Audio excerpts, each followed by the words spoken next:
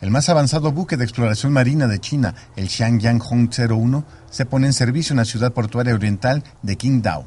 El barco es de 99.8 metros de largo por 17.8 metros de ancho, con un desplazamiento con carga de casi 5.000 toneladas y un alcance de 15.000 millas nórdicas. La embarcación se desplaza en alta mar y sus equipos de teledetección pueden explorar hasta los 10.000 metros bajo el agua, con lo cual la nave puede satisfacer las necesidades de investigación del medio marino y sus recursos en todo el mundo. El barco fue construido por Wushan Construction Naval Industry Group desde mediados de 2013. La embarcación goza de un alto nivel de automatización, permitiendo que un solo hombre conduzca y vigile el funcionamiento sin estar presente en la cabina. El barco llevará a cabo su primera tarea de exploración del medio ambiente marino del Océano Índico. Con información de la oficina en Shandong, China, Noticias Xinhua.